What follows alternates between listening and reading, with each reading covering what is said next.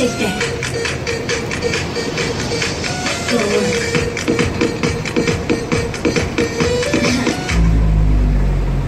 Let me show you how to do it.